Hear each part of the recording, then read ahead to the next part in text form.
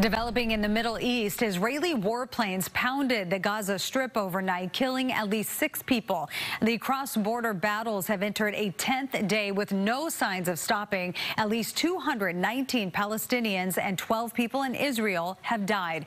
Reporter Ian Lee has the latest. It's one of hundreds of funerals over the past 10 days in Gaza. This time, an Israeli airstrike killed Palestinian journalist Yusuf Abu Hussein.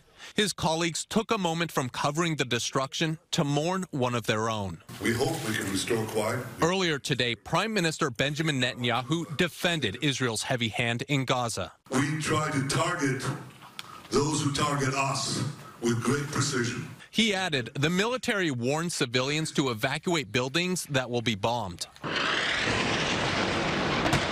But still, dozens of Palestinian children have been killed and even more injured.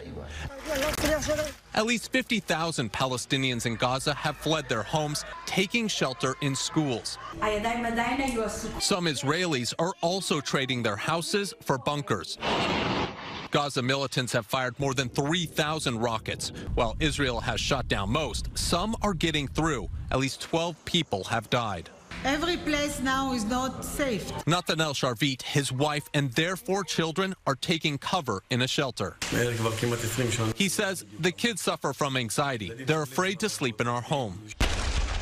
Until there's a ceasefire, kids on both sides, Israeli and Palestinian, will keep living in fear.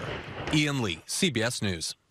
President Biden is calling for significant de-escalation from Israel, but Prime Minister Netanyahu says he is, quote, determined to continue the Gaza operation until its aim is met.